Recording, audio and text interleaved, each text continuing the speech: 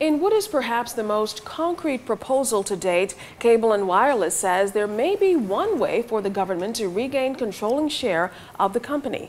Carissa Robinson tells us that Prime Minister Perry Christie has revealed the possible deal maker would include the extension of a decades-long monopoly.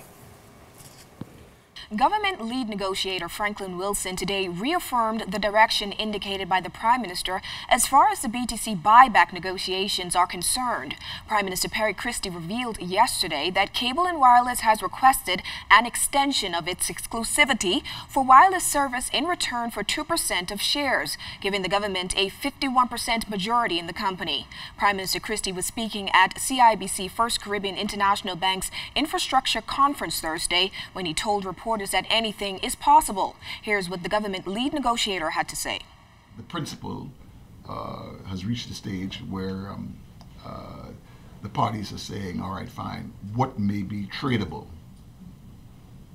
as a condition for what the government of the Bahamas seeks. It's tragic and sad.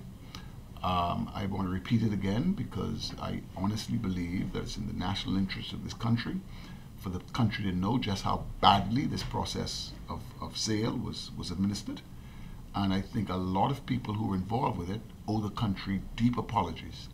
When it comes to criticisms concerning progress of the negotiations, Mr. Wilson echoed the Prime Minister's concern that the deal must be done quickly, but he urged the public to be patient. President of the Bahamas Communications and Public Officers Union, Bernard Evans, has said that he's not pleased with the progress being made we are pursuing that through means which balance various national interests.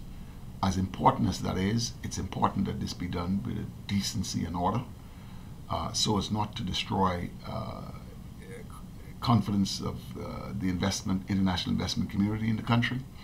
And so it must be done with a certain degree of decency and order. So the negotiations take more time than happens if you were just going with a gun to say, look, give me 2% and take it or leave it, and so on and so forth. It still is uh, incumbent upon us as negotiators, while we meet our public responsibility, to do so in a way which does not totally disarm us of any capacity to really negotiate. If you were to publicly disclose all of your cards, what are you negotiating with? You're giving the other man a tremendous advantage. So I appeal to the public to just um, have a degree of confidence and trust that we're doing the best we can.